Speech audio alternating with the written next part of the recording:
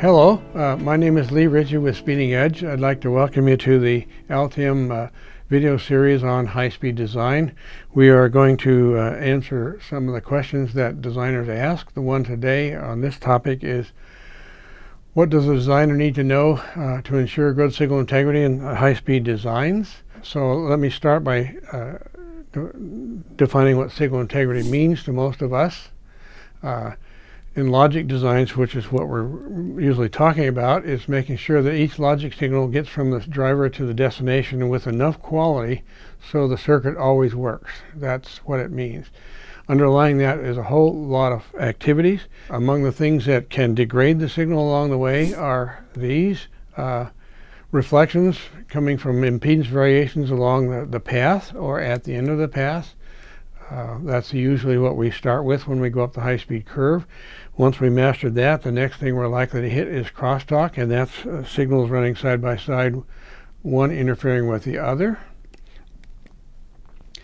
Uh, excessive ripple on, on, noise on the power delivery system, which can affect us two ways. It can mean the uh, ripple is large enough, it can degrade the logic signal itself, or it might escape the product and become EMI. Uh, make, and of course the next thing I've got here is make sure we pass the EMI test. And then this uh, uh, last one has to do with we're going up the speed curve where we have to start worrying about losses in the path. And that those losses come from two places, the copper itself and the dielectric that the signal, the energy is traveling through. And then this last one is something that creeps in when we get above about 5 gigabits per second which is skew uh, induced in the two sides of a differential pair because the glass weave has uh, not been chosen correctly. Uh, we'll talk about each of those one at a time. So let's talk about reflections first. Uh, again, reflections come from uh, change the impedance along the path where you have sent the energy uh, or at the ends. He, th those are both all places we can get a reflection. Um, minimizing reflections along the path means making sure that the uh, stack up is done such that the impedance does not vary along the length of the uh, path. Uh, the second is making sure we don't put loads all in a cluster or uh, along the line because that will cause a reflection. Uh, and minimize reflections at the ends of the transmission lines achieved one of two ways. We can series terminate at the output of the driver or parallel terminate the receiver.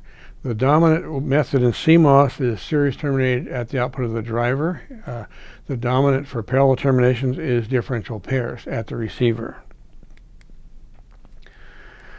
Uh, now arriving at a stack up that has the impedance that we are uh, interested in achieving uh, requires a 2D field solver uh, and accurate information about the laminate you're using because the data you need from the laminate supplier is the real E sub R of the laminate you're using. Uh, and uh, of course, some have relied on the fabricator to choose both of those. We'll see as we go through here that won't work with all the other things that are involved in a stack up. The second thing we're going to run into as we go up speed curve is crosstalk. Again, this is energy that is coupling from a switching transmission line into a neighbor called a victim. Uh, and we want to guarantee that we have a geometry that keeps that crosstalk under control. In boards, the primary source of this is traces running side by side in the same layer or one over the other in adjacent layers. Edge-to-edge -edge spacing is one of the variables we're going to control and height above the plane is the other. Um, now here's the hard part. How much crosstalk is okay? How much can you tolerate?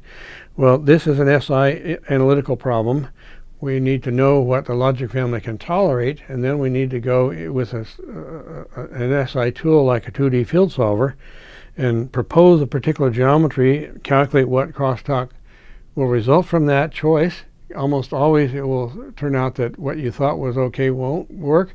We'll iterate on that until we come up with a geometry that satisfies the logic family. 2D and, and 3D field solvers will do this. Uh, uh, there are quite a few tools on the market that can can uh, solve that problem for you. At the moment, my tool of choice is HyperLynx. Uh, won't be long before uh, there's an equivalent tool here at Altium. Now, as soon as we have figured out what the spacing rules are, uh, the rest of this is in the hands of the layout person and the layout tool, and we will uh, load the spacing rules in the route control files of the tool so that no matter whether we hand route or auto route, the rules are complied with. Designing a robust PDS system. PDS again stands for Power Delivery System. Uh, and the most common problem with poorly designed PDS is ex excessive ripple, uh, which of course is variations in the voltage uh, as a result of load current changes that cause uh, uh, the, the, voltage to, to, drop on the power delivery system. Uh, as I'll show you in the next slide, the, the dominant source of, of EMI uh, is ripple on a PDS. So this is one of the secrets to not having an EMI problem. If you have too much ripple on a, a logic signal, of course, you take away noise margin and you can wind up with, with failures from that. That is a common problem with DDR. And of course, designing a robust PDS uh, uh, takes care of that. And uh, to do that, you need analytical tools, of which there are quite a few on the market uh, you can pick from. Now, EMI. EMI used to be the dominant reason that product was late to market. And many of you who have been around a while have had that experience. It is often uh, represented as being something mysterious that fails to follow the laws of physics. And of course, it isn't. Uh, EMI is very straightforward. It's that electromagnetic energy that you intended to send down a transmission line to a receiver that somehow found its way out of your box. So what you have done if you have EMI is make a radio transmitter. Uh, and so we're going to discover the way to solve this problem is to do the opposite. Uh, and uh, my strategy is I eliminate the source because we're going to have antennas, which is the other half of a transmitter, as a result of signal wires going in and out of the product. And of course, the, the, the most dominant source of EMI is ripple on the PDS. I, I can't think of a case in the last 20 or 30 years where that was not true. Uh, so uh, being good at PDS design is a secret to uh, controlling EMI for most of us. Um, so my strategy again is design a, a, very robust PDS with very low ripple and then avoid creating antennas because that's the pathway out of your product. Uh, this, this is a subject of an entire topic, uh, but uh, um, that's my method of controlling this. Uh, there are no good tools to predict EMI. Uh, there have been some on the market that allege to do that, but none of them actually solve the problem. Now this last one is something that has crept in as we've gone up the speed curve with differential pairs. Uh, when we reach about 5 gigabits per second, we started to see something that we hadn't seen before, namely that the two sides of the differential pair did not arrive at the receiver at the same time. That's what we call skew. The weave of the glass can actually cause that problem. Uh, if the two sides, of the, the bottom right hand here picture, is a picture of a classic glass weave we use in boards called 1080 glass. And you can see there's a three and a half mil trace there running across the, the, the glass, give you some sense of scale. Uh, uh, the, the isobar of glass is around 6, the isobar of resin around 3. Uh, uh, if you notice that trace uh, is first atop a glass bundle and then in between two, one ought to expect a couple of things to happen. One is the uh, where the E sub r is high, we should have a lower impedance. Where it's low, we should have a higher impedance, and that's true. We get a variation in impedance. We also get a variation in travel velocity because when the r goes up, velocity goes down. Well, with a single-ended signal, you don't even notice that. But with differential pair, if they both don't exhibit the same ups and downs, one signal will get there before the other one. We'll call that skew. The, the way we're going to control skew is by the way we choose the glass style. Another reason your fabricator can't do your stack up.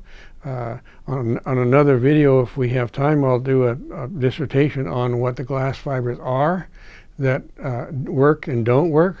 Uh, maybe that's another topic we can do.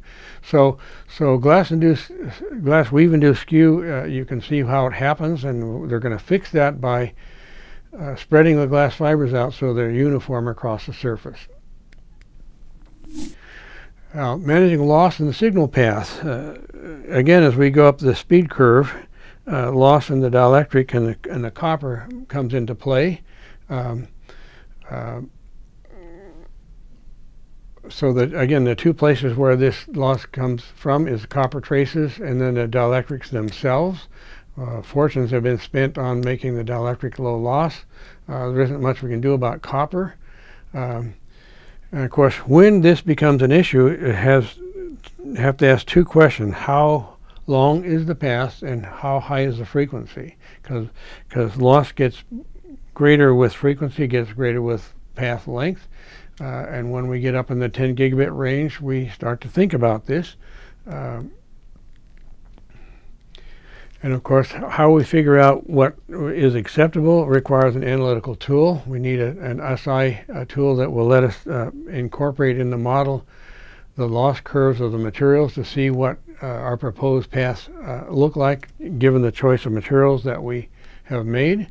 Um, and of course, if you if you go up the speed curve and you continue to use the materials you've used for quote low speed boards, you'll discover we have a problem. The good news is we have developed extremely low loss laminates that you can switch to uh, to solve this problem.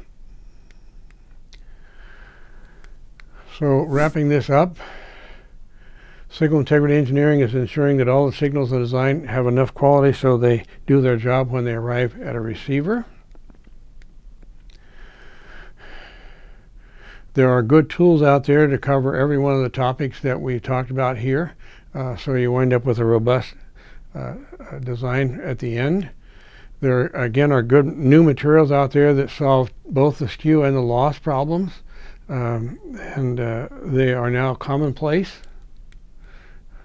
Um, making sure that all the goals we've just talked about are met is a team effort. It, it can't be done by any one person and the members of the team are going to be uh, the SI engineer, the circuit design engineer, the board uh, designer, and, uh, and, someone in the fab shop because I forgot to leave, put that on there. But you need the fabricator in, in on your team because you need to pick materials that they can build that's this topic. Uh, again, uh, I hope that you found it of, of, value. If you did, pass it on to your colleagues. Uh, if you have questions uh, that we haven't answered, uh, send your request to Altium and we'll see what we can do to come up with an answer. Again, Lee Ritchey here, uh, Speeding Edge. thanks for watching.